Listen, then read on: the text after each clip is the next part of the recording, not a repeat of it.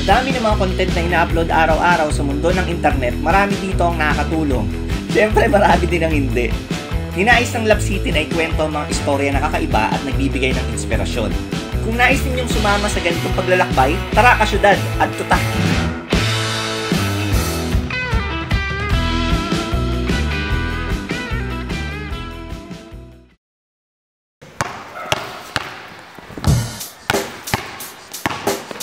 Check the mic and make sure it sound right, boys. Kapag tinanong mo sa malaking porsyento ng Pilipino kung ano ang kanilang paboritong sports, walang kibit balikat na basketball ang sagot. Mapaprofessional na liga, amateur, larong kalye, o maski yung larong MMA na may konting basketball, damang-dama mo ang Pinoy battle cry na puso para sa sports na to. Meron nagsasabi na para sa kanila ang basketball ay libangan o pampapawis lang. Meron ng ebas ay first love o ball is life. Meron din na nahahalin tulad nila ang basketball bilang relihiyon. Pero pero pero may natatanging bayan sa kabisayaan na ibang-ibang senaryo. Ito ay ang bayan ng Barotac Nuevo sa Iloilo, ang tinaguriang football capital ng Pinas. Alamin nga natin kung bakit. Tara ka syudad, adto ta.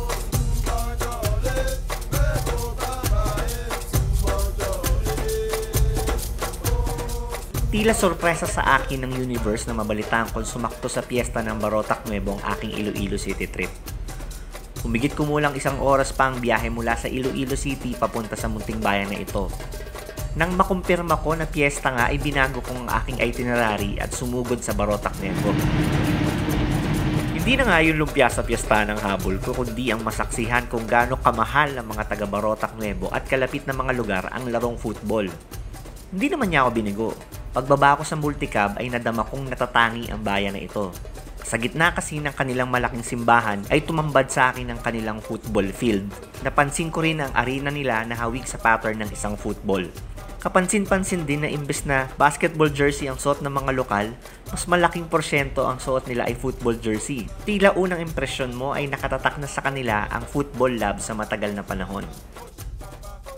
Natapwat parang normal na pistang probinsya ang ganap, nadagsaan ng manininda at excited ang mga tao sa programang nakalaan para sa kanila, pero this time damamong may malaking football match finals na nakaabang. Saksing-saksi ko mga batang sinasamantala ang mag-practice sa gitna ng initan habang wala pa ang actual game. Kanya-kanya ding hanap ng pwesto ang mga tao at pasensyosong naghihintay para sa susunod na football match. Tila ba nagtatabi sila ng enerhiya para i-cheer ang kanilang paboritong team? Ngunit hindi pa ako nakontento sa pangyayaring yun kailangan ko malaman kung bakit super love nila ang football. Right zone! Kinanglan, first 15 minutes, hindi sanda ka score ha. Okay lang yes. kita ka score, hindi lang sanda.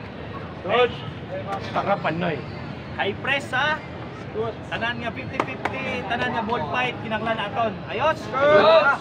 May gani ka muna, hadlok sa army ka chair. Sa marutak pa. Tata, tata. Tara! Awan. 1, 2, 3, daog, 1, 2, 3, panay!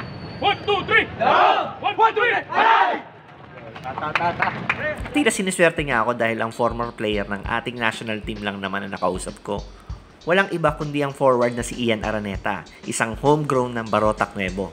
Nakita nyo naman kung ano ngayon yung crowd dito. Hindi ko rin mapailuanan kung gaano kamahal ng taga Iloilo, especially Barotac, yung football. Kaya nga kami tinawag na football capital ng Pilipinas. Kasi isa lang yung ano ko dyan is yung yung football kasi dito sa Barotac. Ito yung number one sports namin. Actually, ang airpot si Sir Ian ay dati rin miyembro ng national football team. Na ibahagi din niya na talagang kinalakihan na nila ang football. Dati pa kasi, actually, na, nasa chance lang ako ng nanay ko, na ano pala ako, yung tatay ko is football player na rin kasi talaga. Sa national team na rin siya. Mga ninuno namin, yun na talaga yung nilalaro dito, yung tatay ng airpot ko, yung lolo ng lolo ko, o yung tatay ng lolo ko.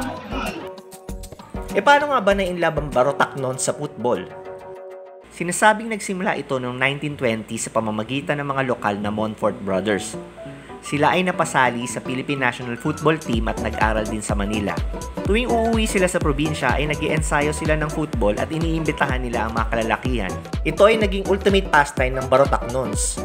Lumawig ang hilig sa sports sa buong Iloilo at karating pang lugar. Dahil na din sa suporta at pasilidad na swak sa international standards ay naging go-to venue para sa training at tournaments ang plaza ng Barotac Nuevo. Nagkamuang ang mga chikiting at nagigising silang napapalibutan ng football.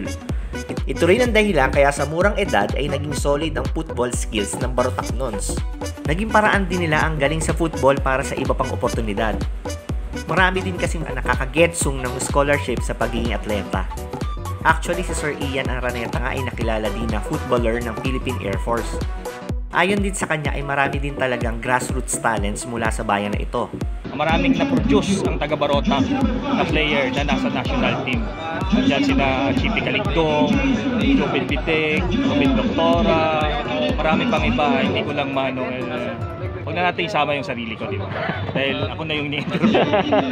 Matapos ang halos isang daang taon ay hindi natin matatawaran ang mga football talents ng Panay at kalapit na pulo nito. Oh, sa akin lang to ha. Opo. Okay, opinion ko lang to. Barota kasi talaga is the number one ano kasi football capital sila ng Philippines. no?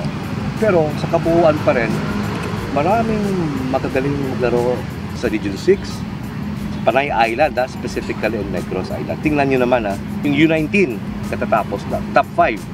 First place is Negros. Dalawang Region 6 na kapasok, third place is Iloilo o Panay Island. Talagang maraming magagaling dito sa Iloilo City tsaka sa Negros. Masaya ako na nagkaroon ng konsentrasyon ng sports na ito sa Panay Island, specifically sa Barotac, Nuevo Iloilo. Alam kong long ball pa ang attempt na ito pero masasabi kong posible. Opo, posible tayong makilala sa sport na to. Actually, nakikilala na nga tayo at kailangan na hindi tayo mahinto sa ating momentum. Sa ngayon, kaya na natin mag-compete international. Ah, nananalo na tayo sa mga sa international. Ah, gumagawa na tayo ng pangalan. Malaki yung pag-asa natin sa football. Kung hindi man natin ano, is gawin lang natin siyang gawin lang natin siyang pantay. Kung ano yung suporta ng basketball, suportahan natin yung football para at least man lang maka ano tayo kasi nananalo na tayo ano international eh.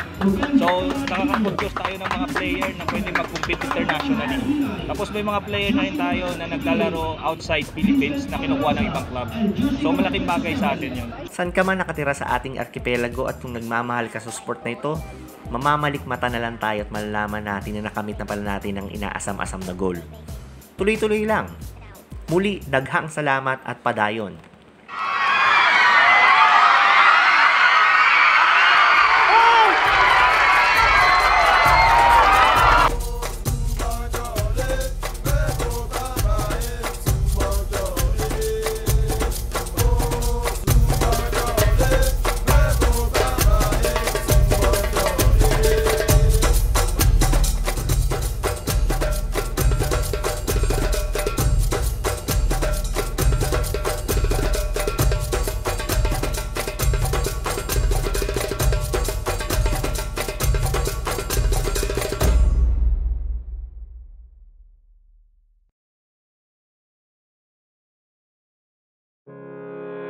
Mula sa pagsasaliksik, video shoot at editing, ang Lab City ay ginagawang aming 200% effort para ibahagi sa inyo mga inspiring contents.